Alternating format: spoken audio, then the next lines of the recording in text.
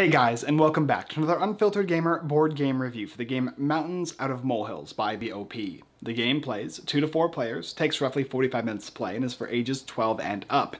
And in the game Mountains Out of Molehills, you are playing as a mole in the uh, annual or semi-annual mountain building competition, where you're trying to build the largest mountain and control the most mountains by the end of the season. You are going to select a mole, select a number of mole hills, and then you'll draft and move your mole around in the underground. From the underground, you're going to be placing up mole hills or little mole mounds on top of the main playing space, which is a 3D board, and at the end of six rounds, you're going to score up all your points that you've gotten from each of the rounds, and whoever has the most points is deemed the most competent mole building mountain, mountain mole builder, and is the winner of the game. Anyway, that's how it works. Let's go ahead and talk about how to set the game up, how to play the game, and of course, my review for Mountains Out of Molehills. To set up a game of Mountains Out of Molehills, the first thing you're going to do is take everything out of the box.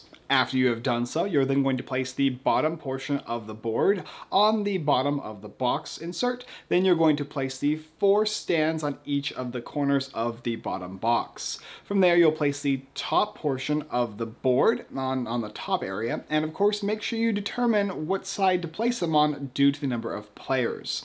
Additionally, for every player playing the game, you're going to give them a mole. You're going to be giving them molehills of that mole's color.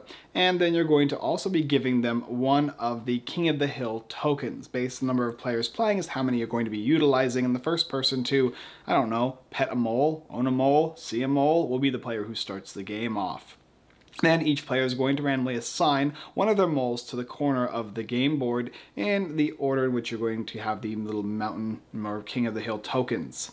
After that, just for the starting first round, go ahead and deal out five cards for each of the players playing to form the draft pool, and of course set the scoring sheet aside so it is within reach of all players. And then you're ready to go. Mountains Out of Molehills is set up and played very simply. Basically, after you set the game up, you're going to go through the three phases of the game. The drafting phase, the playing and movement phase, and the scoring phase. How the drafting phase works is, as stated, you're going to deal out five cards for each player to form a pool, and then each player player in the turn order of the player with the uh, King of the Hill token, followed by the second and third and fourth, will gather one card. You'll keep doing that until every single player has four cards. You'll discard the rest of the cards, which is basically going to be the number of players. So in a four-player game, you'll have four cards remaining, and you'll discard those cards. And then you're going to organize those cards. So you'll move on to the movement and playing phase. Organize the cards from top to bottom in the order you wish your mole to move. And remember, when you're placing your mole at the very beginning of the game, make sure you angle the mole in either direction to determine which way you want them to start moving.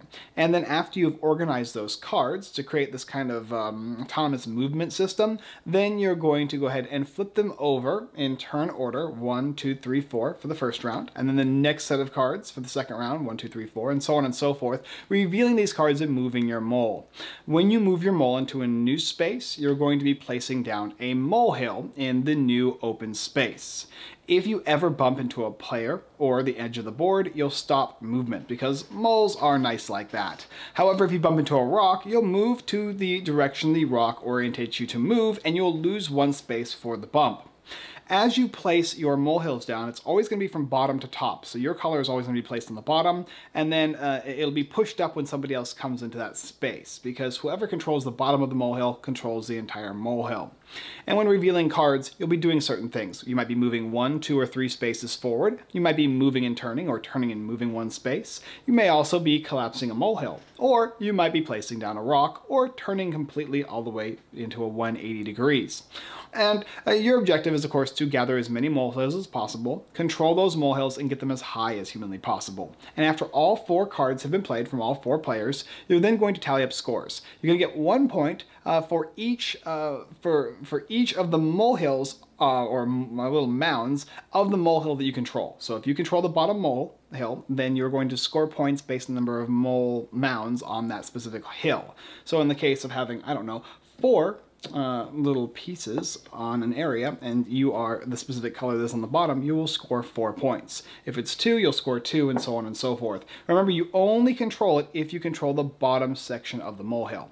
And after that, then you're going to be ending the round. You're going to go ahead and discard all the cards, and then you're going to go ahead and take these uh, King of the Hill tokens and deal them out, uh, or I guess draft them out, I should say, based on the player who has the most of the, their mounds on the top of the playing source as opposed to the bottom. So if you have five revealing on the top, and the next player has four, three, and two, that's how you're going to draft these uh, these uh, these tokens here.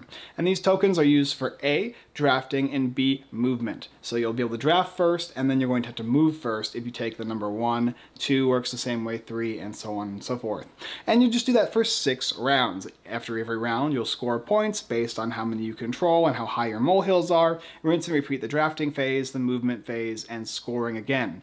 After the sixth round, you're going to add up all the scores from all the players um, in each of the different rounds and put them together, and whoever has the most points is the most competitive mole during the season for competitive molehill building. Mountains Out of Molehills is a competitive area control game that involves you moving your mole on the bottom portion of the game board and then placing molehills on the top portion of the game board. And you're just trying to score as many points as possible, getting the molehills to be as high as humanly possible as well. One thing I didn't mention is that molehills can actually topple, which is a unique aspect to this game, which I want to discuss more in the review. Basically, during each of the rounds, there's a certain level of molehills that you can have, and if it's ever gone above that level, they'll fall. And you can decide in which order or which, in which way, direction they fall. When they fall, they'll fall from the bottom to the top, and they could also fall off of the molehill.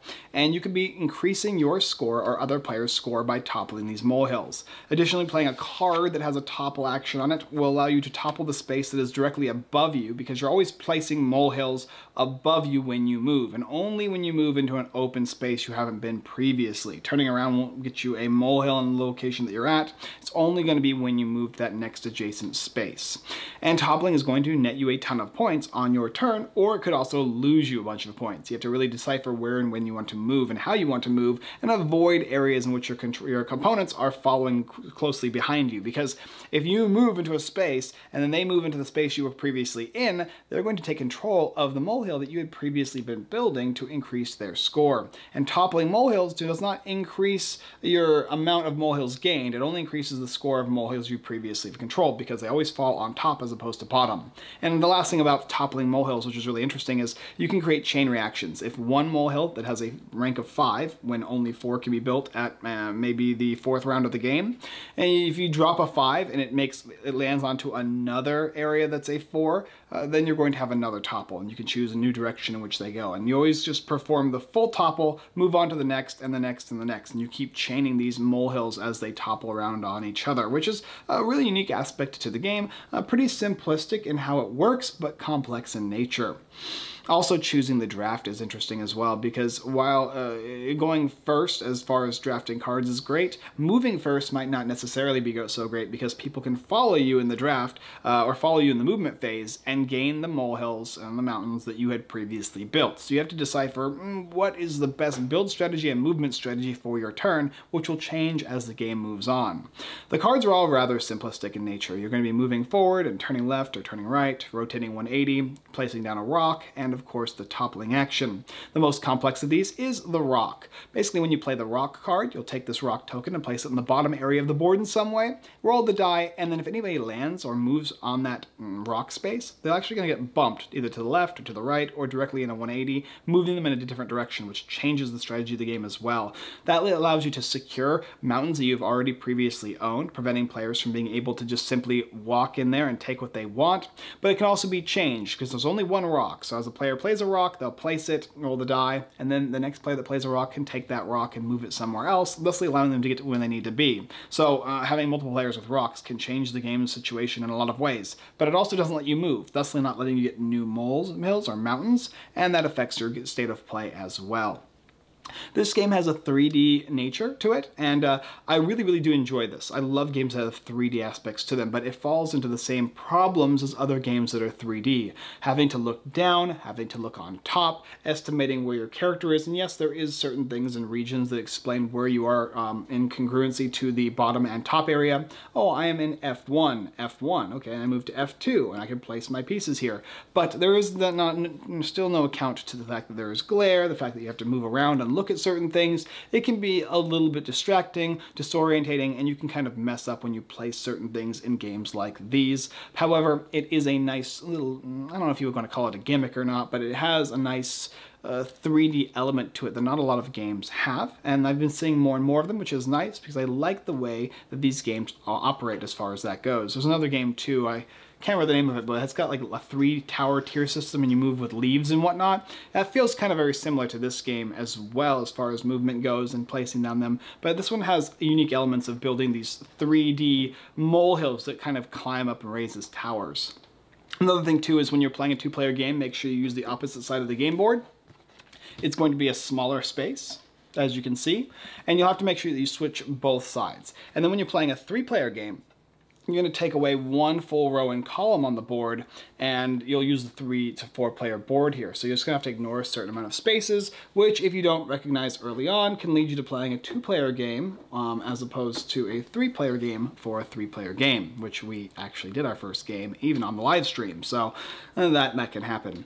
Additionally, you have to note too that your moles only move in the direction their nose points. So if you are not paying close enough attention, you might think that one side is the opposite side and you'll move your mole incorrectly. And that can happen. And moving incorrectly has happened in this game that we have noticed.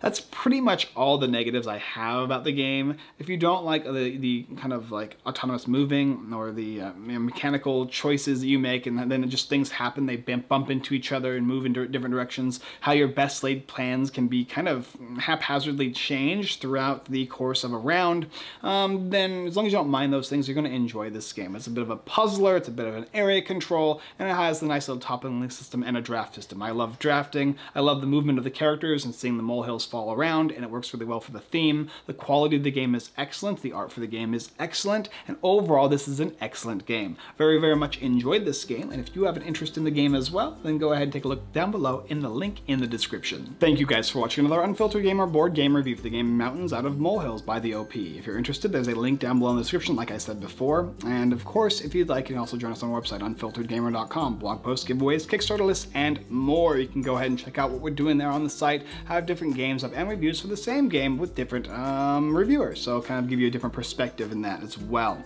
Our live stream is every Sunday at 6.30 p.m. PST where we play games just like this one, and in fact we did play this one, and if you want to check the, the previous videos, you can see that we played this game live and kind of get a better take or understanding of how the game works to whether or not you'd want to pick it up as well. As a pre-order right now, or at least right now as opposed as the, the point which I'm making this video, um, and uh, you can go ahead and pre-order the game for yourself or purchase it if the time period of wait is over and you're watching this video a year into the future. Alright guys, that's pretty much all I got for you. Go ahead and like, comment, and subscribe. And as always, I look forward to building mountains out of molehills with you next time.